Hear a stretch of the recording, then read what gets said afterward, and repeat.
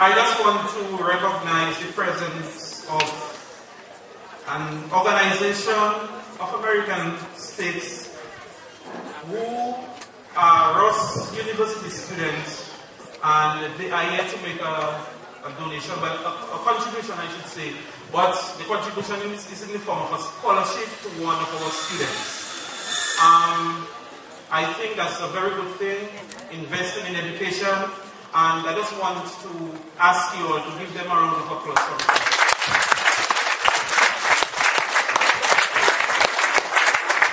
The president is here and the vice president. They gave their names, but I will not get a chance to call their names. So I would like to call upon the president of this organization to make uh, the contribution to the school. All right, I'll hand over to Ms. Cesar Okay, good morning everyone again.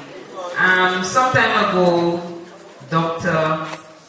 short name, Odu, because if I give you the rest, you'll fall down. I can't pronounce it. She's an African doctor at Ross. She approached us and asked us to get some name of a child or children at first, but it boiled down to a child for now.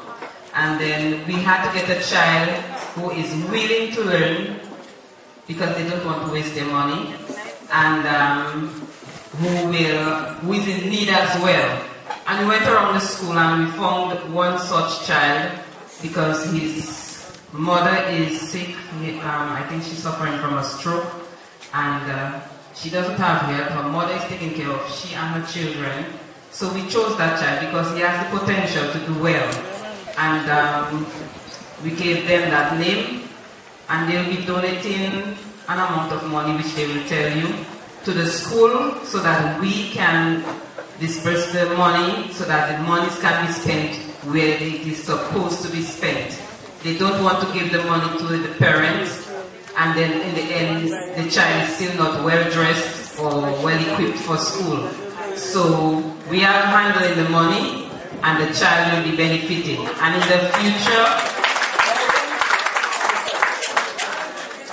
and in the future, if they so desire, if they see it fit, they'll be adding more to their scholarship.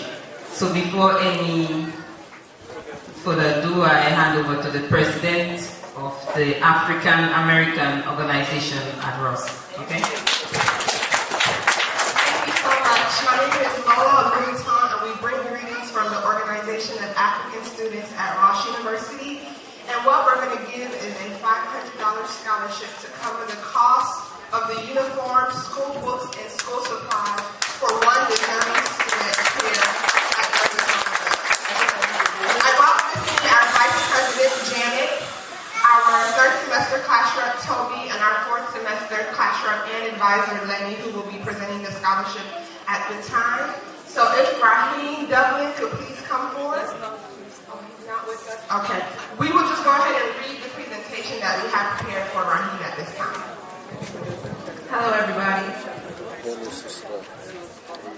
The Organization of African Students at Ross University School of Medicine has dedicated commitment to the making community. The members and sponsors of OAS harbor an appreciation for society that has embraced the African population. Therefore, we feel committed to returning a measure of our indebtedness. As African students, we understand the necessity of educating the young people of black nations and encouraging excellence from the junior generation before us. These ideals have compelled OAS to gather up what resources we have incite passion for learning by equipping a deserving young student with some of the tools necessary to attain his educational goals. The student in question has embodied studiousness, ambition, determination, and exhibits the makings of a future stellar contributing member of society. The presentation of this scholarship presents or represents OAS enthusiasm for the community in which it resides and the promise of continued support of academic achievement from the youth of Dominica. We are proud to present this award to Raheem Dublin in care of the school.